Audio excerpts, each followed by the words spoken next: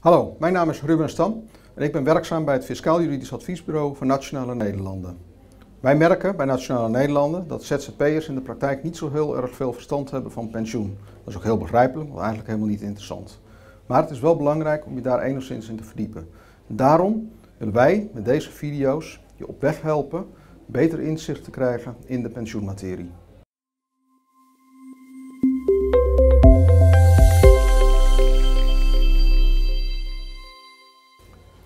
Wat is een nabestaande voorziening? In een eerdere video gaf ik al aan dat er in feite drie soorten pensioen zijn. Oudedaspensioen, arbeidsongeschiktheidspensioen en ook nabestaande pensioen. Een nabestaande pensioen is in feite een pensioen, periodieke uitkering, inkomensvoorziening voor nabestaanden op het moment dat jij komt te overlijden. Nu zijn er verschillende soorten nabestaande voorzieningen. Uh, ten eerste hebben we ook weer in de eerste pijler, het staatspensioen, het overheidspensioen, een maatregel, namelijk de ANW, Algemene Nabestaande Wet.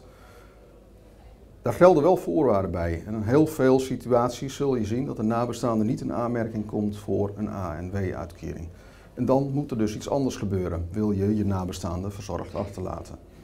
Als er sprake is van pensioen, werkgeverspensioen of verplichte deelname door een ZZP'er aan een pensioenregeling, dan zit er in die regelingen vaak ook wel een nabestaande voorziening. Maar ZZP'er neemt nou juist vaak niet deel aan een pensioenregeling. En dan rol je al vrij snel in de overige categorieën, hè, dat je zelf iets moet regelen aanvullend. Dan kun je denken aan lijfrente. In de praktijk zie je dat lijfrente uh, nou juist niet vaak een zodanige nabestaande voorziening opgeven dat de nabestaanden er warmpjes bij zitten. Nou, wat kun je dan doen? Dan moet je denken aan een overlijdensrisicodekking, een overlijdensrisicoverzekering bijvoorbeeld. Overlijdensrisicoverzekering, hoeveel kapitaal moet je nu eigenlijk verzekeren? Dat verschilt van persoon tot persoon.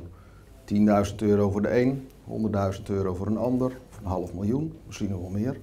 Dat zul je voor jezelf moeten bepalen. Hoeveel je denkt uh, dat je partner of je kinderen nodig hebben om comfortabel te kunnen verder leven op het moment dat jij komt te overlijden. Nou, hierbij geldt natuurlijk wel hè, hoeveel uh, kapitaal uh, je verzekert. Dat is de ene kant van het verhaal. Uh, dat moet je zelf bepalen. Maar vervolgens is de vraag van ja, hoeveel premie hoort daar dan bij? En hoe meer kapitaal je verzekert, hoe hoger ook uiteraard die premie zal zijn. Voor overlijdensrisicoverzekeringen zijn er heel veel verzekeraars in de markt. En je zult zelf op onderzoek moeten gaan welke verzekeraar jou het beste bod doet bij het kapitaal dat je wenst te verzekeren. En doe dat ook. Er zijn verschillende internetsites waar je heel goed kunt vergelijken wat verzekeraar A kost, wat verzekeraar B kost, wat verzekeraar C kost. En uiteindelijk kom je daar wel uit. Maar goed vergelijken, heel belangrijk.